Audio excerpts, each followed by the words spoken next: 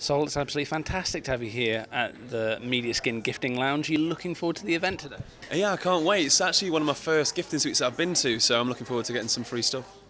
What do you think of the concept of uh, a gifting suite, a gifting lounge? Do you think it's going to take on over here? Because it's very big in the States, but we haven't really had too much of it over here yet.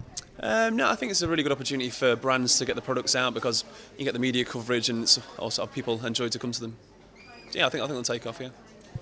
A lot of good beauty products on show today. Um, I have to ask, do you have any kind of beauty regimes yourself? Because whatever you're doing is working. You're, you're a dapper figure of a man. Thank you very much. Um, no, mine's a bar of soap and uh, just a whatever moisturiser I can find around the house.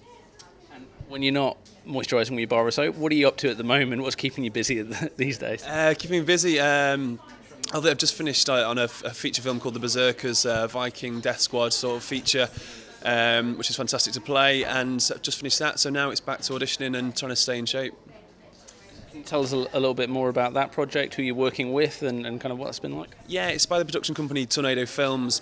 Uh, director Anthony Smith uh, was filmed in South Wales. Um, had actors such as Simon Armstrong from Game of Thrones, um, Amber Jean Rowan um, from Vikings. So it's a really good cast, fantastic job to do, and really enjoyed it.